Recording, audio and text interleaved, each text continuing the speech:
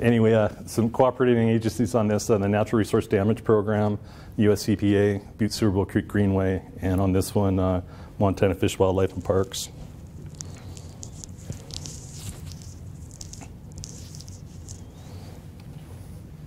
So site location, Durant Canyon, if you head west of town to Ramsey, wrap around a Miles Crossing Road, you look downstream, that's Durant Canyon. Also, the the other end of Durant Canyon is like you go to Fairmont Hot Springs, take Fairmont Road, you cross Silver Bow Creek and look upstream. You're looking right at the project area. You're looking up into Durant Canyon. So what I want to convey um, in this presentation is just how tight the constraints of the canyon are. Not only is it a canyon, you can see that the topography here, it's, it's very steep, very confined, very narrow. Um, but also we have three railroads running through the canyon, two active, the BNSF and Rarus, and one historic railroad, the Old Milwaukee Railroad Grade, which if you've ever been like the Hiawatha Trail out of Kellogg or, or up on the peak there, it's um, part of that historic railroad. The highlighted areas you can see here are, are, tailings deposits. So really tough to get at, really tough to excavate. Um, not a lot of it, but, but very expensive and not, um, not really efficient excavation operations. Just a little bit about Butte's history and how this all came about. You know, 100 years of mining gener generated an awful lot of waste and uh, mine tailings. And um, how did this all get deposited downstream? Well, there was a flood of epic proportions in 1908 that basically blew tailings all the way down from Mill, all the from Butte all the way down to Milltown, and uh, kind of some cartoony stuff where I haven't seen anything like this since Noah's time, those kind of things. It, it was big. So a little bit of project history. In, in, in 1983, uh, Creek was des designated as an NPL on the NPL list uh, and designated as the Streamside Tailings Operable Unit. In 1995, there was a record of decision to basically remove the tailings to the limits of the 100-year floodplain. And in 1999, a settlement was reached between uh, ARCO and the state for 80 million plus interest to fund the cleanup for DEQ and EPA. So this is an area of where we are, Butte, and way downstream it's about 26 miles of river to clean up.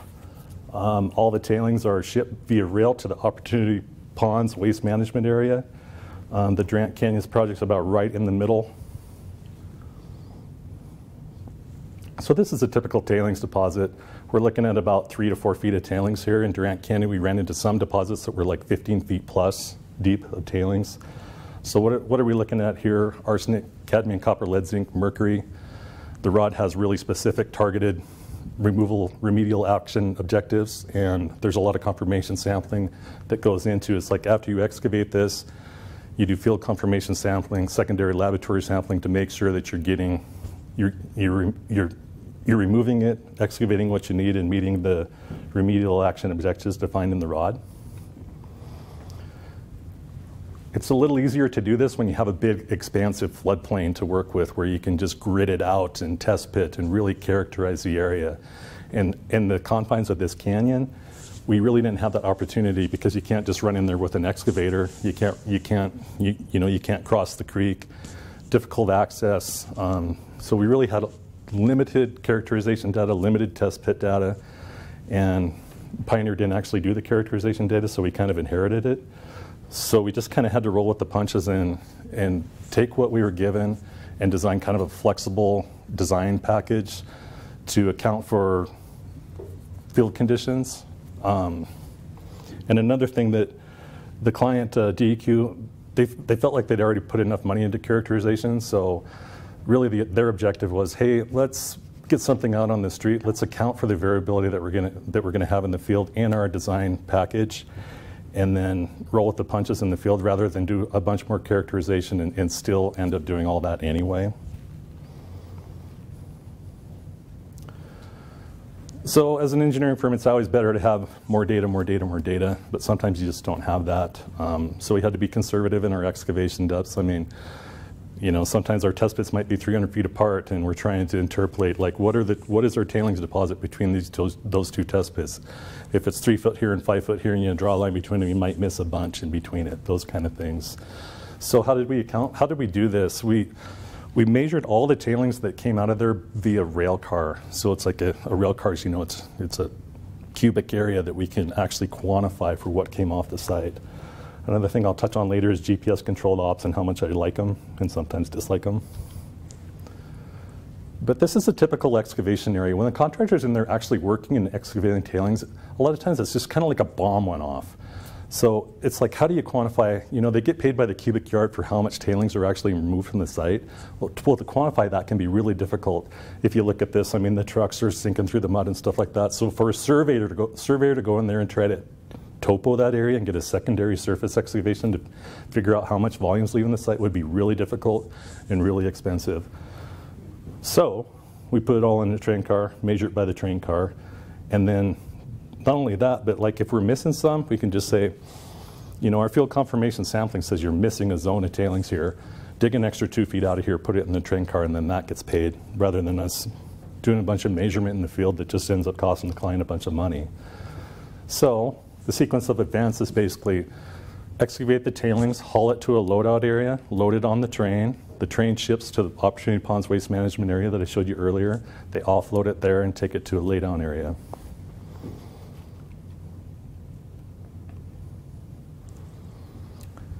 Lessons learned in contracting and construction. Well, we're dealing with a low bid environment, so you know it's it's really cutthroat and competitive with these contractors. You know, there's there's a number of them out there that do this type of work.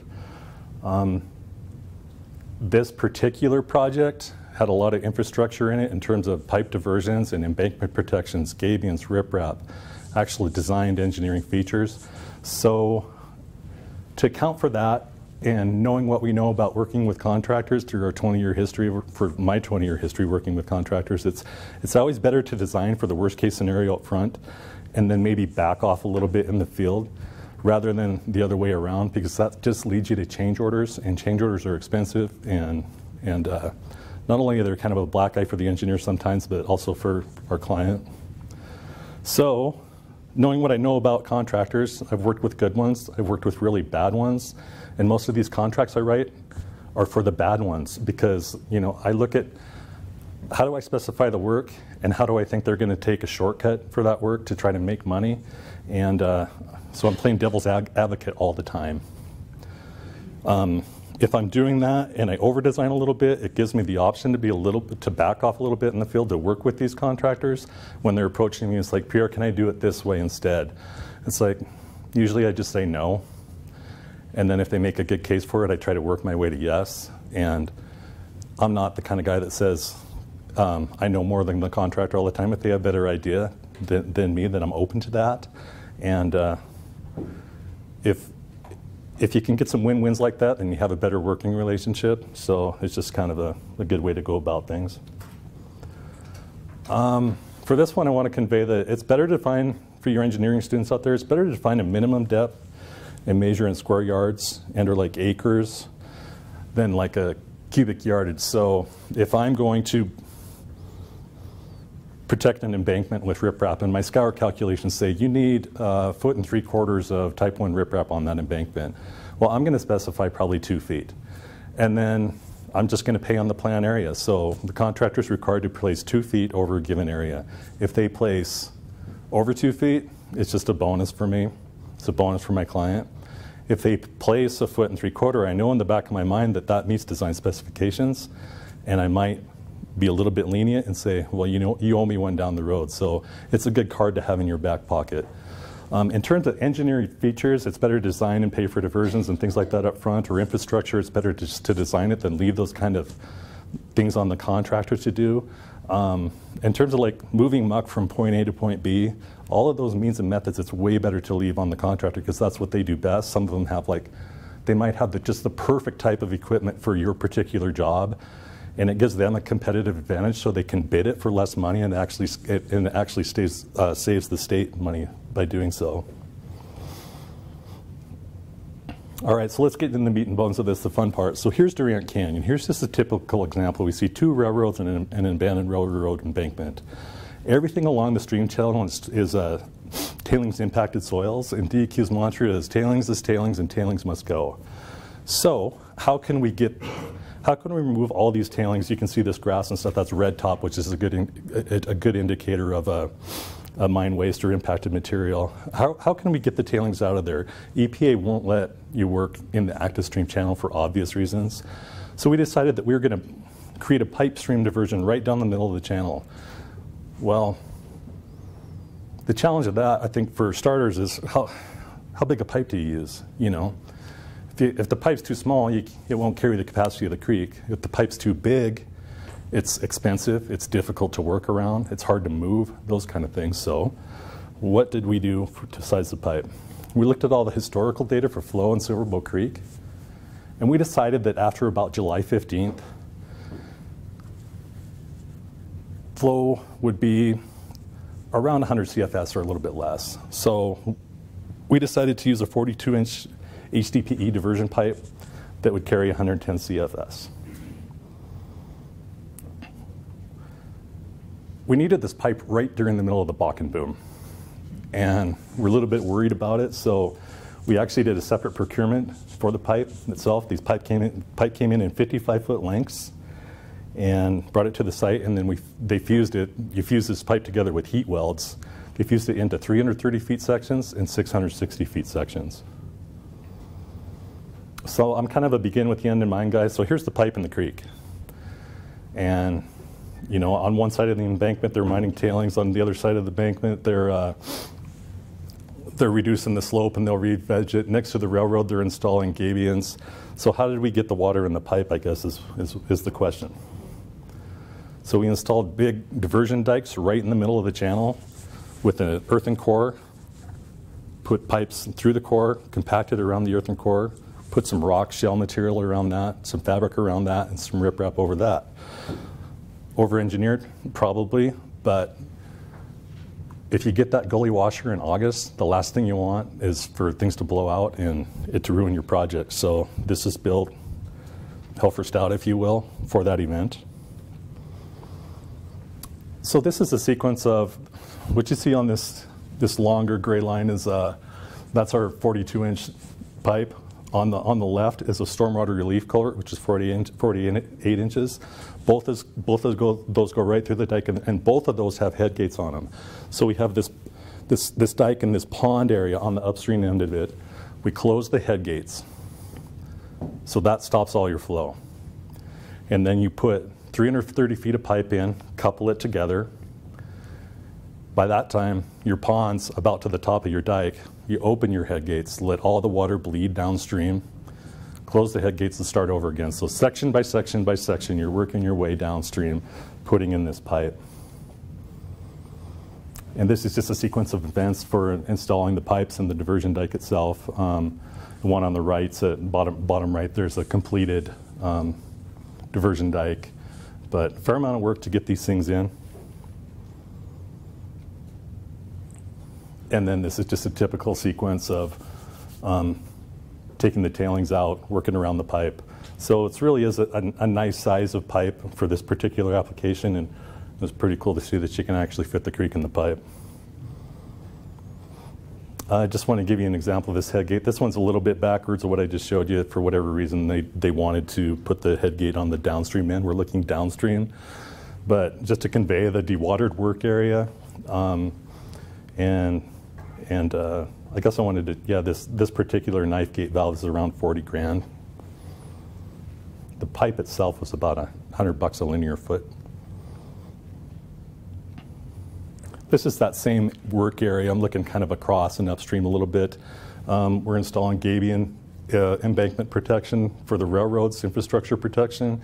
On one side, we're, we have a little bit of a floodplain here. We're excavating tail, tailings, regrading the floodplain, placing vegetated backfill or cover soil, with, if you will, over that. Constructing stream banks. There's, there's a lot going on here. This is looking upstream at that same area after one growing season. Um, you can see the gabions and riprap on, on the embankment and some bank construction on one side. So I went over those slides in about, what, 30 seconds. It took about four months to do this. Logan, four months? Okay, maybe a little more. Uh, lessons learned on contractor substitutions. You know, it's like uh, this is one where the contractor knows more than the engineer. So they, they said, well, you know, we've, we've installed, installed miles and miles of this pipe and we've always used these couplers. They're not what you spec'd out, but we've used them and they work. So we're like, okay, well, it's on you, go for it. So they used these couplers to couple the pipe together and it worked pretty good throughout the summer. But in the fall, when it started to get really cold in the canyon, uh, the temperatures dropped and that pipe, 1,500 feet of pipe, or when it gets cold, it contracts. So it was pulling the pipe apart, you know, at the couples. So we'd get there in the morning and water would be bleeding everywhere. So they ended up kind of strapping it together and pulling it together, and then they had to bury hundreds of linear feet of this pipe to insulate it, and um, and then of course unbury it when they were all done and stuff like that. So. Um, did they send, save a bunch of money with their shortcut? No, that probably cost them quite a bit of money. So this is the right way to do it. Um, this is the end of, of like a 300, 300 foot section of pipe. It has this flange with this backup ring assembly so that when they actually put the pipes together, these, these big sections of pipe, they can couple them together and there's a typical detail. It's all bolted together and, and then they hold. So I learned something on that too. This was a little bit larger diversion. We did four, four pipe diversions in this project. This one was pretty extensive. It was about 1.4 miles long. Of that, about 4,500 feet pipe diversion. And then at the end, like I was saying before, when you go to Fairmont, you look upstream, there was a little bit more expansive floodplain. We had some room to work with, so we were able to transition from the pipe diversion to an open channel diversion in that area. I think we had, what, 2,600 linear feet of open channel diversion. And right smack dab in the middle, we had a fish barrier installation.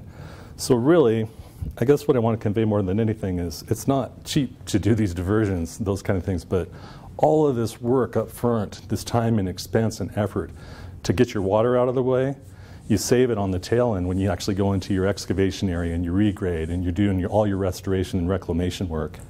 And it just makes it so much easier when your water's kind of out of the way. Not all of it. There's springs and stuff like that that you need to do some pumping and stuff like that. But um, for the most part, you move the river, do the reclamation, build new river, put the river back.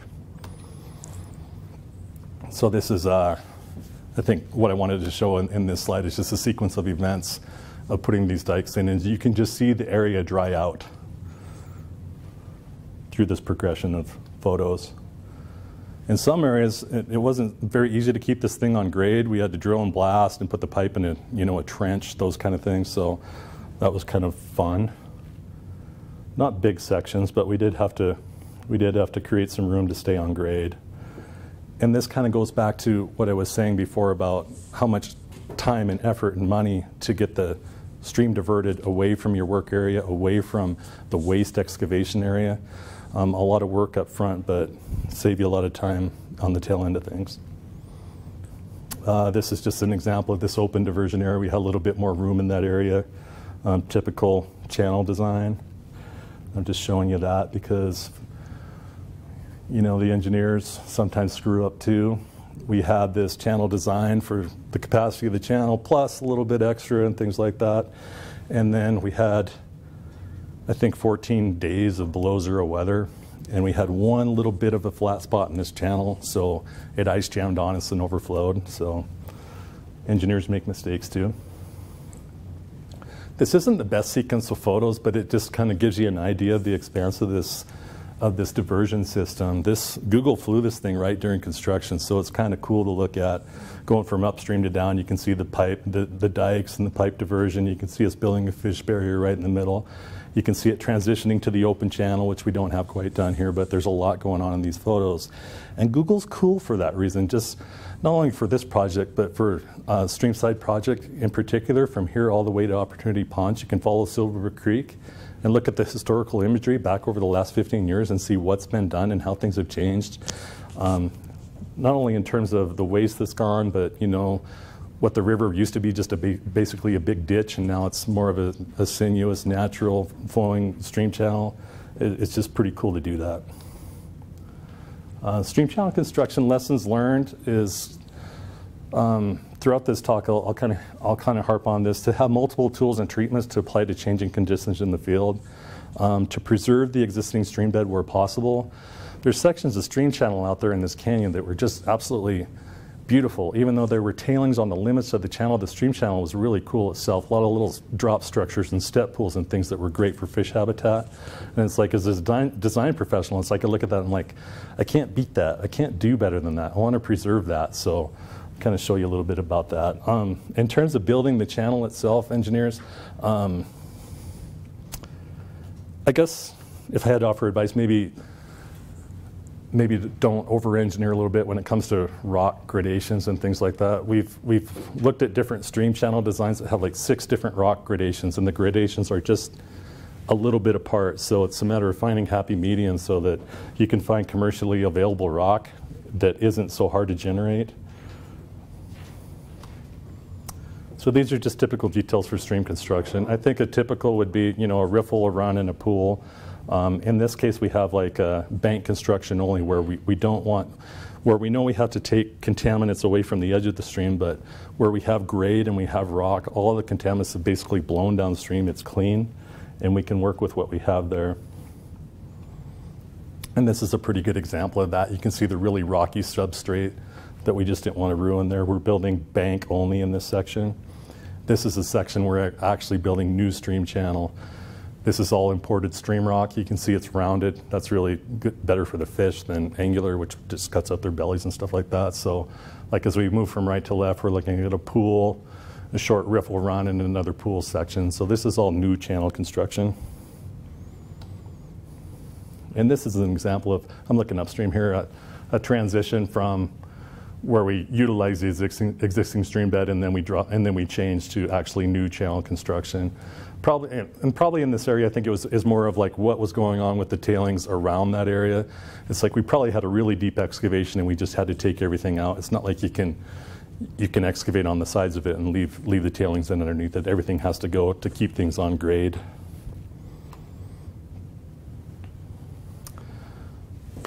So this next segment, it's, it's going to be a little hard to understand out of context, but especially for your engineering students, I want to I want to convey kind of a, a tool toolbox approach to design so that um, maybe if you take something away from this, it's, it's, it's a way not to paint yourself in a corner, if you will, in terms of setting up a contract and designing things such that you don't have a bunch of change orders in the field to, to uh, account for um, variable field conditions, which you will. So what I want to convey from this series of, of uh, typical details is that this is an embankment treatment that I would use for, I know I'm going to be right, for 900 linear feet along the slope this is what we're going to install. It's going to be a bigger Type 2 riprap at, at the toe, some top dressing Type 1 riprap. It's going to have some gabion baskets. It's going to have some compacted um, backfill to get us on slope and on grade, and and some fabrics and things like that. But what I want to convey here is that this thing isn't set up so that it's like it's bid out per linear foot. They have to they have to the plans call that they build this from station to station per linear foot, but everything is bid separately.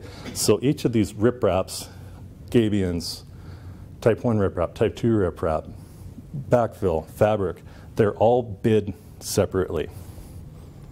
And they're all measured and paid separately. So here's our toolbox. This is all I want. I don't want to spend too much time on this, but all I want to take, all I want you to take away from this is that we have all these different tools, and then what I talked about earlier. You see that SY? That's everything's measured in square yards.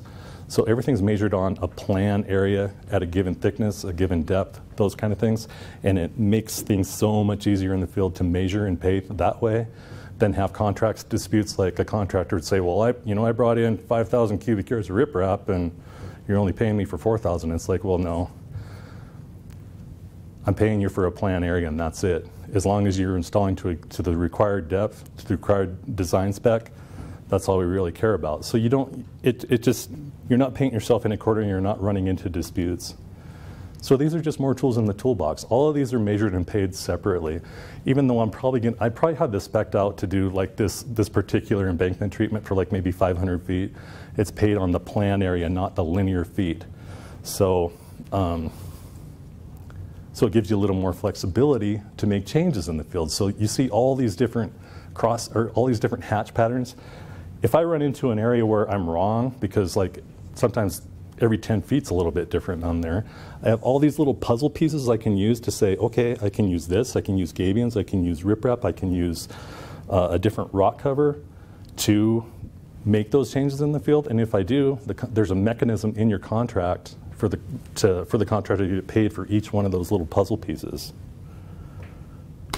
Rather than writing a big change order to, you're going to do this, you're going to do this, you're going to do this. In the field, you're just, you're, you're just going to say, well, instead of rock, rock toe there, or, or instead of like a, a rounded rock, put riprap, put a angular riprap in, or, or something along those lines. I'll show you just a few examples so you kind of get what I'm trying, trying to drive home here. Uh, this one, uh, so look at these gabions. It's like we have a different slope length. You can see there's a little bit longer slope length, and it transitions down to a shorter slope length. So instead of me having two typical details for that type of slope length, I'm just paying for more area. It's, it's an easy deal. On this one, I have a transition zone between bank construction and a rock outcropping where I'm putting some riprap in. We're just paying for, we're just, we're just telling the contractor, put this type of detail in there, you get paid on the plan area, we're happy, we're good to go. So, came to a restoration seminar. I'll talk a little bit about that too. So, um, this is a typical floodplain re uh, regrading cross section, and it is just that typical. Um, a lot of our designs in the past, or some of the things I've worked on, it's like, well, this is what the contractors kind of held to. It's like, well, just do this more or less. You're at a 10 to 1, and then transition to a 1% and grade it to the, you know, tie it into existing topography. And I really like that. It, it never really turns out the way that you envision it. So instead of that, in terms of creating a more natural floodplain and stream channel corridor, I actually think it's good to spend a lot more time on your floodplain. So this is an example of a, a, more expansive tailings deposit where you have the river next to the railroad, which you don't really want. You want to get your river away from the railroad so it doesn't tear it all up when you have flood events. You want to create a natural stream channel with more sinuosity, a restored stream, stream channel um, a more functional floodplain, if you will. And to do that, you have to build your floodplain, which isn't exactly easy. If you look at this cross section on the bottom, that looks a little bit, if you look a little bit like that typical section I just showed you, but we have a lot of that, all that red is cut material and all the green is fill materials, so we have some really deep fill areas some areas that we have to take material away from. All this colorful stuff on the top is just fill zones, cut zones, everything to make you know this this this functional floodplain that grades away from the channel, those kind of things. So a lot of deep cut zones, a lot of deep fill zones. So when I before we bid these projects, I give a presentation to the contractors, contractors that are going to bid the project, just like I'm giving this presentation to you. And I, I show them a slide like this. It's like after you get the tailings out of the way and everything's clean, you have to build your floodplain. And it's not just a matter of a guy getting into a dozer and smearing things around and you know we think that's what the floodplain should look like. No. We provide them a design surface and say you're building to these contours. So they're going to be hauling things in from areas, hauling things away from areas, grading things around to get things on grade and just how we want them to look. And I hammer it home because I want everyone to bid it right. It's not like, well, we put, you know, $400 an acre into floodplain regrading when it should have been $4,000 an acre into floodplain regrading, those kind of things. So I hammer it home. We're tight on our tolerances. Everything that they do, I'm going to say you have to be within two tenths of a foot or you're, we're not going to pay for it. So here's an example where I like the GPS operations because we give them our floodplain regrading surface and they're out there and they're building this surface that we gave them. They're designing, they're, they're building to give, they're building to this topography that we want, that we envision, that we design and it works great. surveyor doesn't, you know, the surveyor will go out there and check on them, but for the most part, it's pretty efficient, it's pretty cost effective. The only thing I don't like about GPS operations is if you screw up in your design, that's what they're going to build. I mean, if you have a low area or an area that doesn't drain in the right direction, they're looking at a screen in their dozer. They're not, you know, they're not looking out their window at that point in time to see what they're actually building. So you want to make sure you get it right. And when you do, it looks like this, which is, I think, uh, restoration at its finest. A functional floodplain, new stream channel corridor, and a pretty cool example of restoration from a, an area that didn't look so good before. This fish barrier installation. So the objective of fish barrier on Silver Bow Creek and Durant Canyon was to isolate native cutthroat trout in the upper reaches of Silver Bow Creek so to do this, we uh, designed and constructed a 50 foot wide by 22 foot high fish barrier. Um, we couldn't just put a dam in the middle of the channel and pond water behind it because sediment transport, to move sediment from upstream to downstream is really important for a functional stream channel. Um, I could talk a little bit more about that, but I'm not really have too much time. But, but it's important that you're not just creating a quagmire with a pond and stuff like that. That sediment needs to needs to move through the system for a stream to be healthy and functional and and do what it's supposed to do. So we had to place a, lot of rock behind the fish barrier structure. Uh, we had a subcontractor working on this, so we had a pretty good relationship with our contractor, but the subcontractor was a little bit subpar, so we had to watch them quite a little bit, and it took quite a little while to get them on track. And this was quite a little bit of work to get everything formed and in place and everything on grade and those kind of things. This, these are isometric views of the fish barrier. I'll show you. And this is the installed structure. So look, look pretty easy. Well, it really wasn't. So there's about 100 cubic yards of, of concrete in this thing. So a lot of form work, a lot of, a lot of finish work, those kind of things. Uh, and kind of dangerous really with all the rebar and stuff and guys running around on scaffolding and those kind of things. So, but a pretty dry work area, so uh, made things a lot easier. So I'm kind of running out of time here, so we'll do a little bit of show and tell. Uh, these are before, during, and after. Series of photos. This is upper reach Reacham. We're looking upstream. Things going on. That's about one growing season. It really takes about three to four growing seasons before things really, um, before you really have that kind of ecosystem that you're really seeking. And sometimes that means reseeding, refertilizing, those kind of things. Um, depends on how much rainfall you're getting. Um, what your falls and springs are like, those kind of things. This is that same area, and just a sequence of before, during, and after. Pretty cool example of restoration. This is kind of mid-canyon. Pretty neat sequence of some different tools we are using, stream bank construction. We left kind of things as they were before, but all the nasty stuff's gone.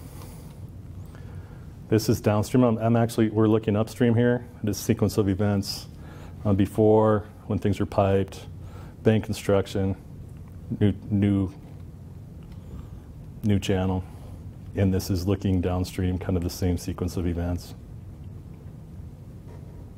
This is a fish barrier area, before, during, and after. And this is that area just above Fairmont Road. You can see the open channel diversion area. Um, this is a pretty large-scale tailings excavation area, floodplain regrading area, stream channel construction. And in addition to that, we also constructed a new, new wetland complex pond that you can see when you look upstream from Fairmont Road that um, the birds just love. And a little bit of new stream channel there. So our end game is really this. It's just, you know, generate really good habitat for wildlife and some really awesome recreation opportunities for people around here. The main conclusion from this is just that teamwork amongst all parties was the key to success. I mean, it wasn't a deal where the engineer was the bad guy or the contractor was the bad guy. It's like, I think everyone really bought into this, like, we really want to make this project shine. So it, it ended up being a, a great resume builder for a, for Helena Sand. It's a, it's a showcase project for Pioneer and also for DEQ, and uh, we're pretty proud of it actually. Um, another thing I'd say is that we invite you to look up Pioneer Technical on YouTube. We have some uh, a slideshow on this project that's a little more expansive than what I gave today, but kind of give you more of a view of, of what went on down there, and and also to visit our website to see some other cool things that we're doing around not only Montana but the U.S. So that's pretty much the end of my presentation. I really appreciate you invited me to speak. So.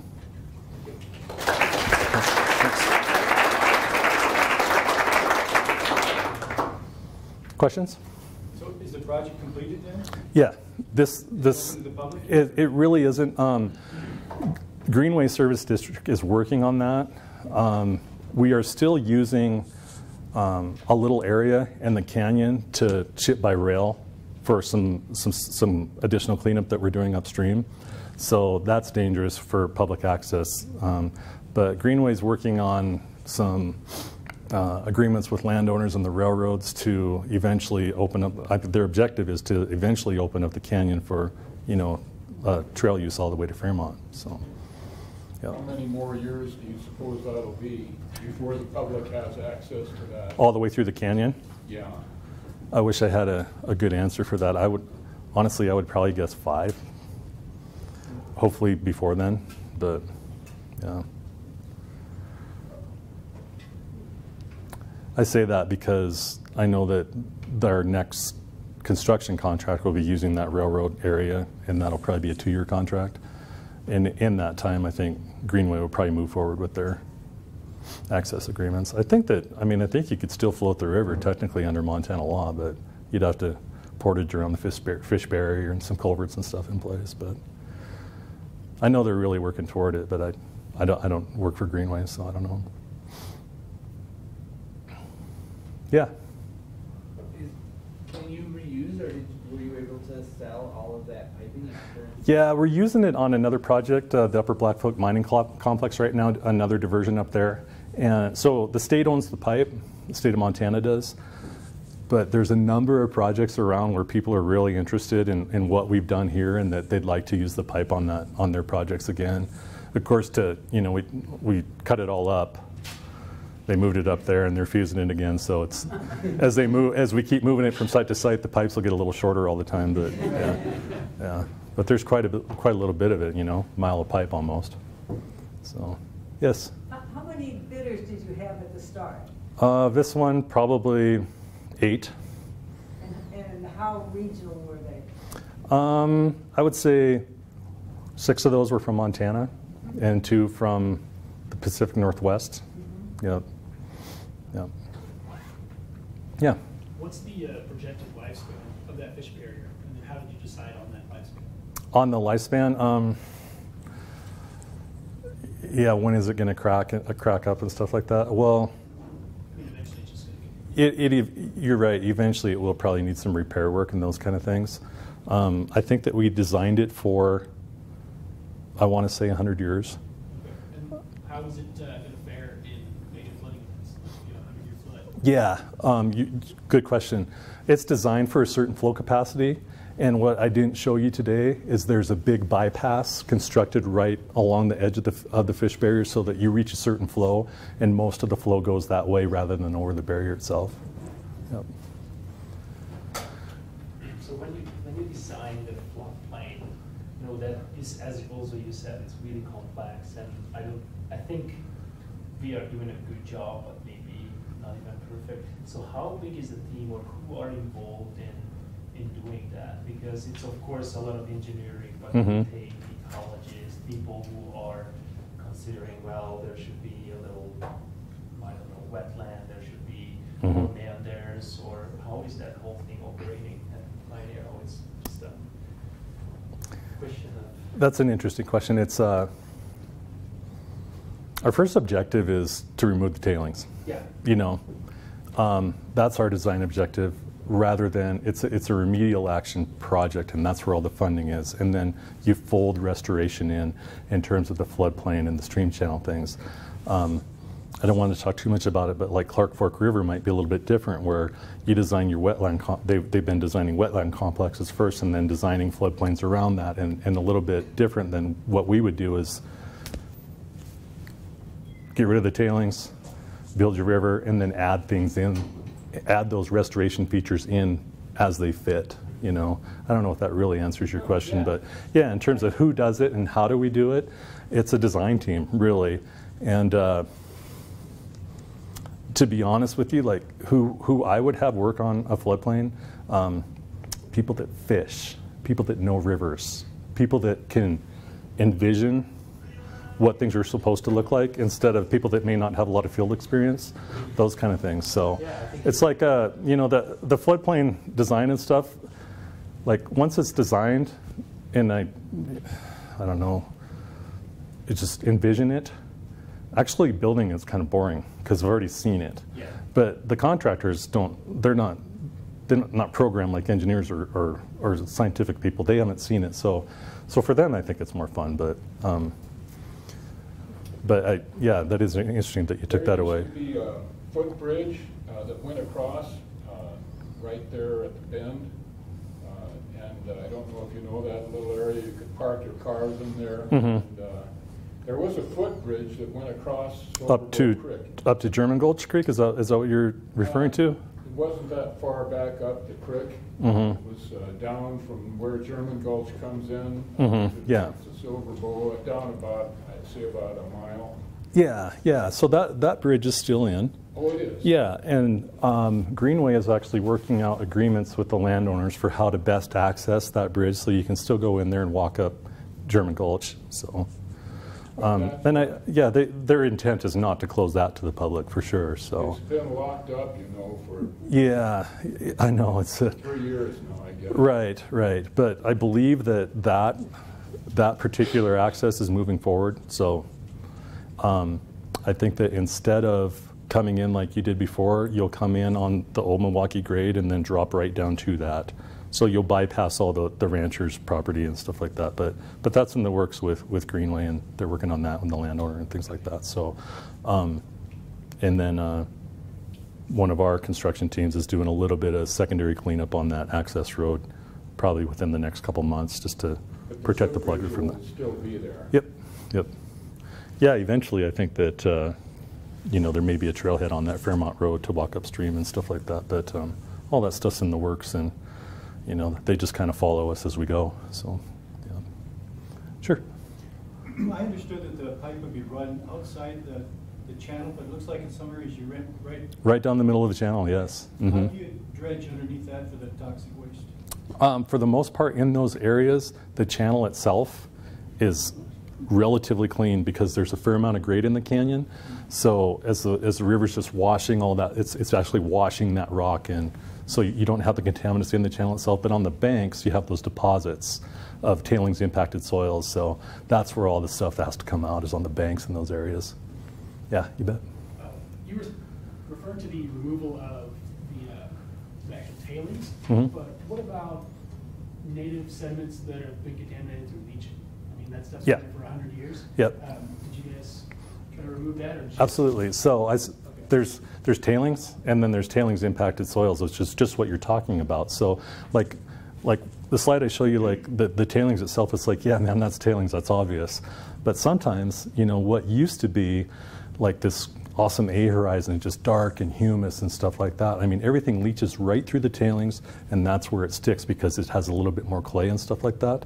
So that is just as hot, if not hotter, than the tailings in a lot of cases. So what we do is we, we account for that in, in our designs. We go back through, we do field confirmation sampling to make sure that, hey, that, you know, we'll, we'll through XRF analysis, and we send that off to the lab and make sure we're right. But you're, you're right on the money there. It's, it's those, what used to be good is now bad, and that, that goes to, and then after that, we regrade the floodplain and we haul in clean soils to place over that. And then uh, with your limited field sampling before you started, Mhm. do you feel like you might have compromised your, um, your accuracy at identifying those, those soils? Uh, yes, it was compromised, but to account for that in the field, you do a whole bunch more confirmation sampling, like a whole bunch. And you see how hard it was to go get it? We don't want to go back. So um, our design volume on this project was 220,000 cubic yards. What we took out of there, 467,000 cubic yards. So a lot more, a lot more than what was characterized or what we expected, you know. But through that additional confirmation sampling, we're making sure that we get it. And a lot of times we're digging to hard rock, you know. It's like, yeah, we got it, you know. So, yeah. Kind of a follow-up on that is, uh, were you able to use um, visual cues to? Sure, absolutely. I mean, you get- Tailings are pretty easy to spot. Yeah, you get pretty good at it. The, the field guys get really good at visually saying, yeah, that's obviously tailings, especially if it's blue. You know, especially if you put your shovel in and it turns, you know, blue. So yeah, copper. Um, but pretty rigid um, sampling protocol to make sure that we, we got it all and that we can not only say we got it all, but prove we got it all statistically. You know, there's a whole series of statistical analysis to make sure that we're doing just what you asked. You know, that's what we're there for. So, you bet. Was there any discussion of the the pit overflowing and compromising all this hard work?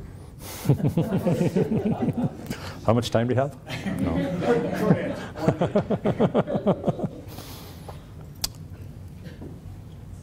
I don't know. I'm not going to answer. It's, you know, yeah, sure. It's a worry, for sure. Yeah. Thanks so much. Absolutely. Thanks everyone for coming.